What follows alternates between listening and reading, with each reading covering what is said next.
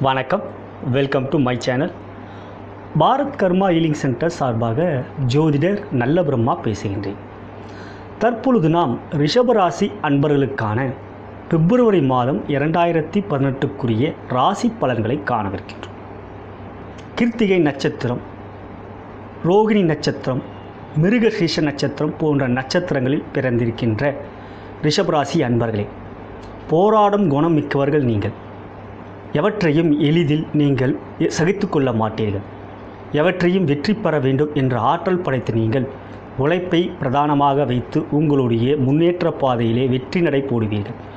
அப்படிப்பட்ட ரிஷபராசியில் பிறந்திருக்கிற உங்களுக்கு இந்த மாதம் பொறுத்தவரை ஆறாம் இடத்தில் குரு பகவானும் எட்டாம் இடத்தில் சனீஸ்வர பகவானும் இருக்கிறார்கள். இவர்கள் ஒரு ராசியிலே நீண்ட நாட்கள் இருக்கக்கூடிய கிரகங்களாகப்பட்ட ஆண்டுகோள்கள். மற்றொரு ஆண்டுகோளான ராகு பகவானும் கேது பகவானும் மூன்று மற்றும் ஒம்போதில் இருக்கிறார்கள். இப்படி ஆண்டுகோள்களை பொறுத்தவரை ராகு பகவான் மிகவும் சிறப்பான சாதகமான சூழ்நிலையில் முயற்சி தைரிய ஸ்தானத்தில் அமர்ந்து பல்வேறு விதமான நன்மைகளை உங்களுக்கு செய்து கொண்டிருக்கிறார். குரு பகவானை பொறுத்தவரை உங்களுடைய ராசிக்கு யோகக்காரகன் கிடையாது. நவ கிரகங்களை இரு அணிகளாக பிரித்திருக்கிறார்கள். ஒன்று தேவகுரு மற்றொன்று அசுரகுரு. அவற்றிலே நீங்கள் அசுரகுருவை ராசியாதிபதியாக பெற்றவர்கள். அதாவது சுக்கர பகவானை ராசியாதிபதியாக பெற்றவர்கள். சுக்கர பகவானுக்கு ஜென்ம பகையான எட்டாம் இடத்துக்கும் மற்றும் பதினோராம் இடத்துக்குரிய குரு பகவான் ஆறாம் இடத்தில் அமர்வது விபரீத ராஜயோகம் ஆகும். எட்டுக்குரியவன் ஆறில் அமர்வதோ பன்னெண்டில் அமர்வதோ விபரீத ராஜயோகம். அந்த அடிப்படையில் கோச்சார ரீதியாக ஆறாம் இடத்தில் குரு பகவான் அமர்வது கெடுதலான பலன்களை தரும் என்று ஜோதிட விதிகள் கூறியிருந்தாலும் இங்கு விபரீத ராஜயோகம் என்ற அடிப்படையிலே குரு பகவான் உங்களுக்கு நன்மையை செய்வார். குரு பகவான் உங்களுடைய ராசிக்கு பத்தாம் இடத்தையும் உங்களுடைய ராசிக்கு பனிரெண்டாம் இடத்தையும் இரண்டாம் இடத்தையும் பார்க்கின்றார்.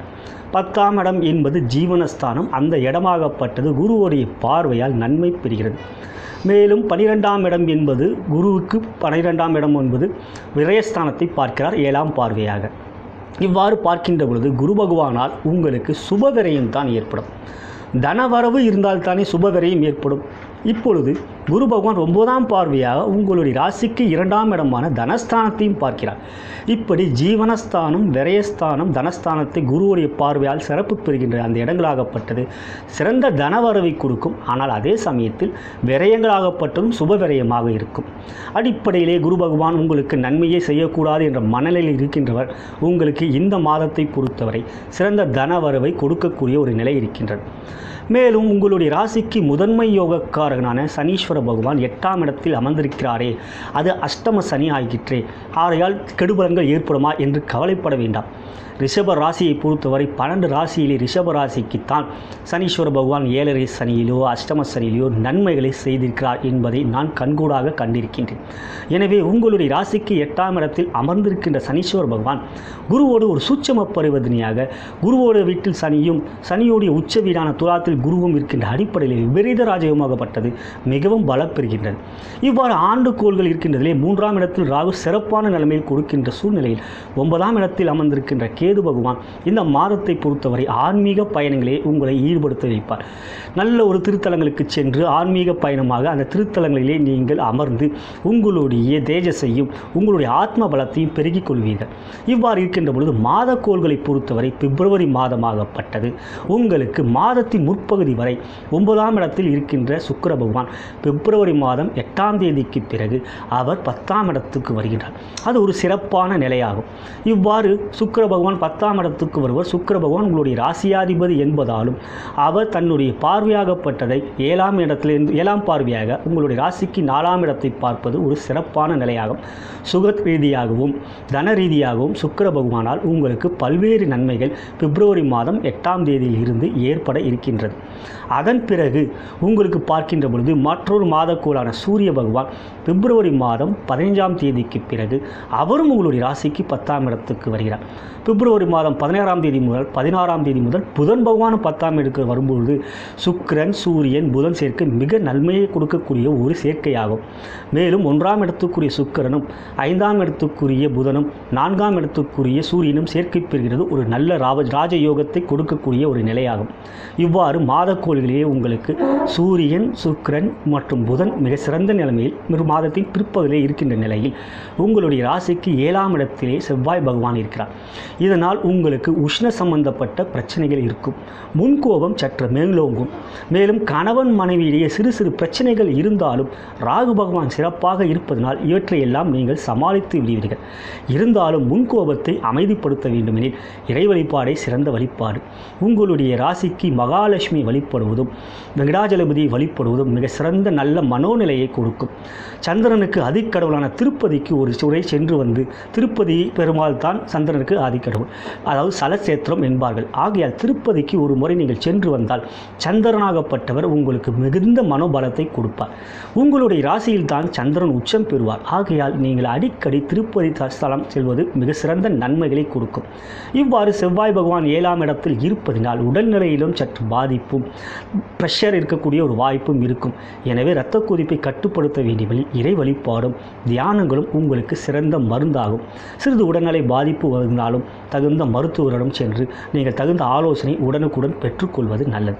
எனவே இந்த மாதத்தை பொறுத்தவரை உங்களுடைய ராசியாதிபதியும் ராசிக்கு யோகக்காரனும் மாதத்தின் பிற்பகுதியிலே மிகுந்த நன்மையை கொடுக்கக்கூடிய ஒரு நிலையிலும் நான்காம் இடத்துக்குரிய சூரிய பகவானும் சிறப்பான நிலைமையில் பத்தாம் இடத்தில் இருந்து நாலாம் இடத்தை அவரும் பார்ப்பது தன்னுடைய சொந்த வீட்டை பார்ப்பதாலும் இந்த மாதமாகப்பட்டது முன்கோபமும் முன்கோபம் இல்லாத ஒரு நிலை வர வேண்டுமெனில் நான் சொன்ன பரிகாரங்களை செய்து வாருங்கள்.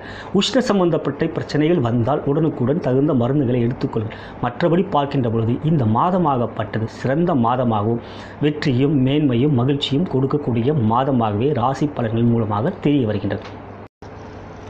பிப்ரவரி மாதத்தை பொறுத்தவரை உங்களுக்கான சந்திராஷ்டம நாட்கள் என்று எடுத்துக்கொண்டால் பத்து இரண்டு இரண்டாயிரத்தி பதினெட்டு இரவு எட்டு மணி முதல் பதிமூணு இரண்டு இரண்டாயிரத்தி பதினெட்டு காலை எட்டு மணி வரை சந்திராஷ்டம நாட்களாகும். இந்த நாட்களிலே புதிய முயற்சிகளை தவிர்ப்பதும் வெளியூர் பயணத்திற்கு செல்வதா என்றால் அவசியமற்ற முறையில் இல்லை என்றால் நீங்கள் அந்த அத்தகைய வெளியூர் பயணங்களை தவிர்ப்பதும் நல்லது. இல்லை சென்றே ஆக வேண்டும் என்றால் இறை வழிபாடு சென்று செய்துவிட்டு அதன் பிறகு செல்வது சால சிறந்தது. நீங்கள் தேய்பிரையில் பிறந்தவர்கள் என்றால் சந்திராஷ்டம நாட்களாகப்பட்டது உங்களுக்கு விபரீத ராஜயோகமாக ஏற்படும். ஏனென்றால் மூன்றாம் இடத்துக்குரியவர் உங்களுடைய ராசிக்கு. அவ்வாறு நீங்கள் தேய்பிரியில் பிறக்காமல் வளர்பிரியில் பிறந்தீர்கள் என்றால் இத்தகைய நாட்களிலே நீங்கள் எச்சரிக்கையாக இருக்க வேண்டும். தற்பொழுது நாம் துறை ரீதியாக ரிஷபராசி அன்பர்களுக்கு எவ்வாறு பிப்ரவரி மாதம் இருக்கும் என்பது காண்கின்ற பொழுது முதலில் நாம் வியாபாரி அன்பர்களுக்கு எவ்வாறு இருக்கும் என்பதை பார்க்கலாம். வியாபாரி அன்பர்களே பத்தாம் இடத்தை குரு பகவான் பார்ப்பதும் மேலும் பிப்ரவரி மாதம் எட்டாம் தேதியிலிருந்து உங்களுடைய ராசியாதிபதியான சுக்கிர பகவான் பத்தாம் இடத்துக்கு வந்து குரு பார்வை பெறுவதாலும் இந்த மாதத்திலே அதன் பிறகு உங்களுடைய வியாபாரத்திலே மிகுந்த ஏற்றமும் நன்மையும் கிடைக்கக்கூடிய ஒரு நிலை இருக்கிறது. மிகுந்த செல்வாக்கையும் பெறக்கூடிய ஒரு நிலை இருக்கின்றது. பிப்ரவரி மாதம் பதினாறாம் தேதிக்கு பிறகு உங்களுடைய ராசிக்கு யோகக்காரன புதன் பகவானும் பத்தாம் இடத்துக்கு வந்து சுக்கரன் புதன் சேர்க்கையாகப்பட்டது மிகுந்த நன்மையை மாதத்தை பிற்பகுதியே உங்களுக்கு கொடுக்கும். மேலும் நீங்கள் எடுக்கின்ற புதிய முயற்சிகளுக்கு தகுந்த ஆதாரங்களும் தகுந்த ஒரு மரியாதையும் மற்றவர்களால் புகழக்கூடிய ஒரு நிலையும் இருக்கின்றது.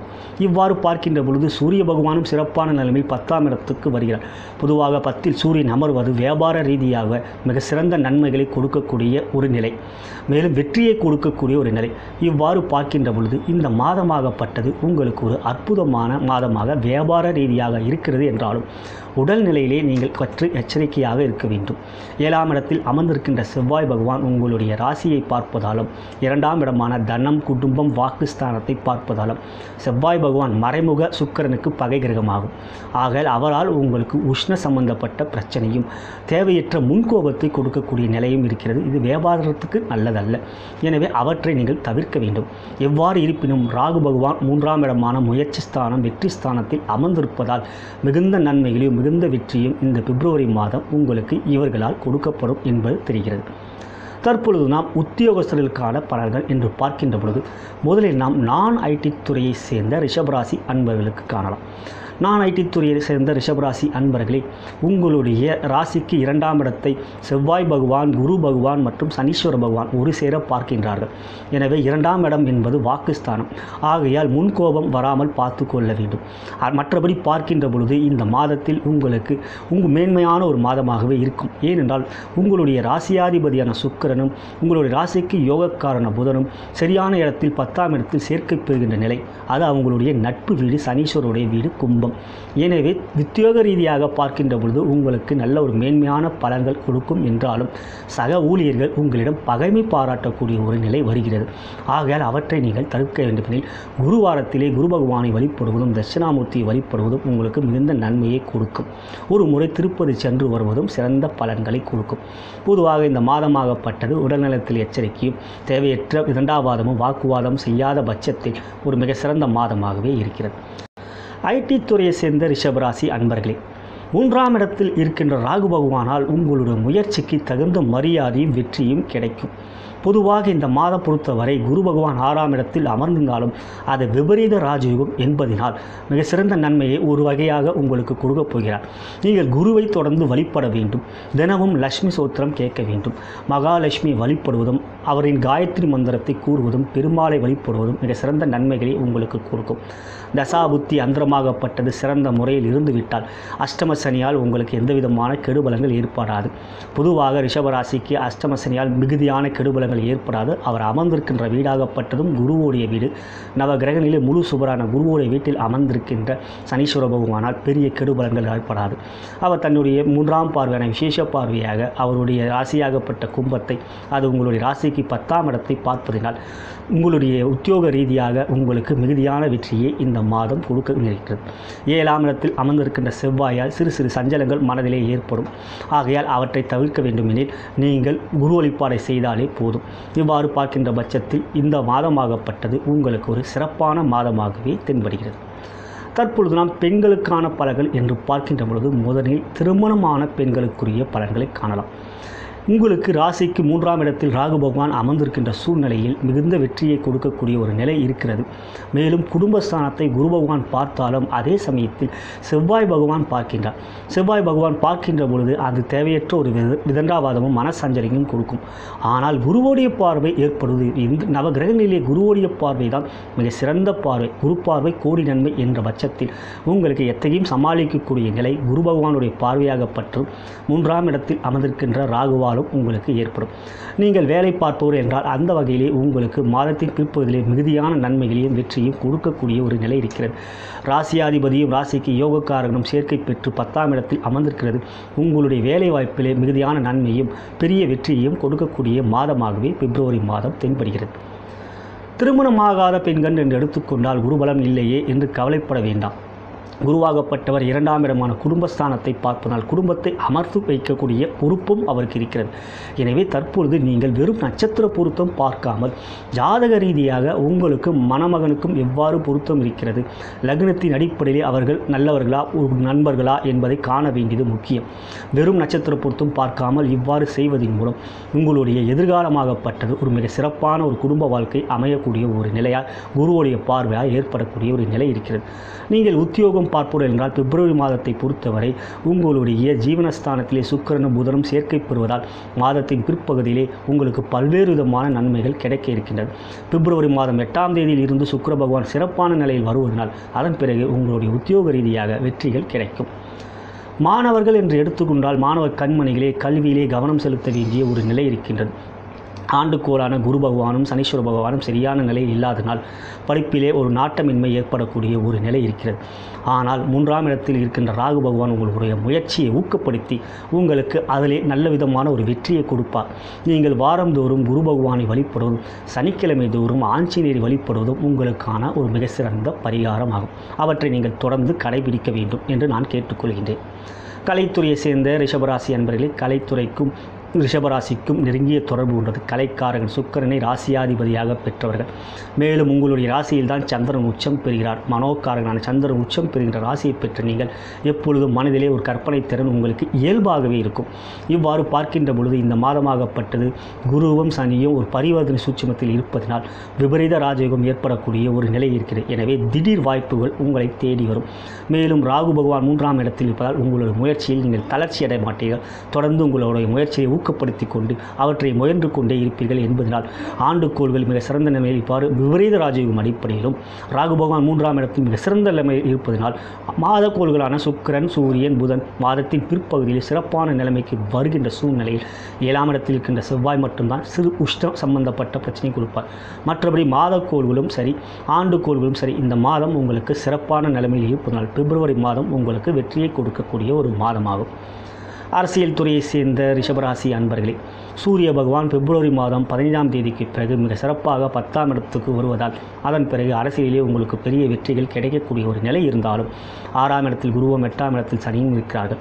எனவே உங்களுடைய ஜனன ஜாதகத்தை ஒரு முறை தகுந்த ஜோதிடம் சென்று எவ்வாறு கிரகநிலைகள் இருக்கின்றது தசாபுத்தி அந்தரம் எவ்வாறு நடக்கிறது என்பதை அறிந்து கொள்ள வேண்டியது அவசியமாக தெரிகின்றது. மூன்றாம் இடத்தில் அமர்ந்திருக்கின்ற ராகு பகவானால் உங்களுடைய முயற்சிக்கு வெற்றி கிடைக்கும். எனவே இந்த மாதமாகப்பட்டது மாதக்கோள்களின் ஆதரவால் உங்களுக்கு ஒரு மிக சிறந்த மாதமாகவே இருக்கின்றது. இதுவரை நாம் பார்த்தது ரிஷபராசி அன்பர்களுக்குரிய பிப்ரவரி மாத பொதுபலன். எப்படி இருப்பினும் அவர்களுடைய பிறந்த நேரத்தின் அடிப்படையிலே வருகின்ற ஜனன ஜாதகமாகப்பட்டதன் மூலமாகத்தான் நாம் துல்லியமாக நூறு சதவீத பலாபலங்களை தெரிந்து கொள்ள முடியும். கிரகநிலைகள் எவ்வாறு இருக்கிறது? லக்னம் என்று ஒன்று வரும். லக்னாதிபதி என்பது யார்? அவர்கள் எவ்வாறு கிரகநிலையில் இருக்கின்றார்கள்? பாவ பலன்கள் எல்லாம் எவ்வாறு இருக்கிறது என்பதை அறிந்து கொள்ள முடியும் என்றனால் அது உங்களுடைய ஜனன ஜாதகத்தின் மூலமாகவே நாம் தெரிந்து கொள்ள முடியும். இது ஒரு தகுந்த ஜோதிடம் உங்களுடைய ஜனன ஜாதகத்தை காட்டினால் அவர் பலாபலங்களை கணித்து எவ்வாறு தசாபுத்திகள் நடக்கிறது என்பதை எடுத்து கூறுவார். நீங்கள் என்னை தொடர்பு கொண்டாலும் எத்தகைய பரிகாரங்கள் செய்ய வேண்டும்? கிரகநிலைகள் யோக நிலையில் இருக்கின்றதா அல்லது அவயோகம் இருக்கிறதா என்பதை கணித்த உங்களுக்கு நான் எடுத்து கூறுவேன். மந்திரம் எந்திரம் தந்திரம் எவ்வாறு செய்ய வேண்டும் என்பதும் எந்த எந்திரத்தை நீங்கள் வைத்துக்கொள்ள வேண்டும் என்பதையும் நான் எடுத்து கூறுவேன். எனவே இவற்றின் மூலமாக உங்களுடைய எதிர்கால திட்டங்களாகப்பட்டது வெற்றிகரமாக முடித்து கொடுக்கக்கூடிய ஒரு நிலை இருக்கும். மேலும் எந்த மந்திரங்களை நீங்கள் தினமும் ஜபிக்க வேண்டும் தோஷ நிவாரண மந்திரத்தை உச்சரிக்க வேண்டும் என்பதையும் நான் உங்களுக்கு எடுத்து கூறுவேன். என்னை நீங்கள் தொடர்பு கொள்ள விரும்பினால் கீழே இருக்கின்ற அலைபேசி எண்ணிலே என்னை அழைக்கலாம். வாட்ஸ்அப்லையும் ஸ்கைப்பிலையும் என்னை தொடர்பு கொள்ளலாம். மேலும் சப்ஸ்கிரைப் பட்டனை கிளிக் செய்து என்னை ஃபாலோ செய்யலாம். சப்ஸ்கிரைப் பட்டன் அருகிலே இருக்கின்ற பெல் பட்டனை கிளிக் செய்வதன் மூலம் நான் ஏற்றும் வீடியோவை அது உடனுக்குடன் உங்களுக்கு அறிவிக்கும் என்று கூறி நான் வழங்கும் குருமார்களும் சித்தர்மார்களும் நான் வழங்கும் பார்வதி தேவியும் சிவபெருமானும் உங்களுக்கு இந்த மாதத்தில் மேன்மையும் வெற்றியும் மகிழ்ச்சியும் கொடுப்பார்கள் என்று கூறி விடைபெறுகிறேன். நன்றி வணக்கம்.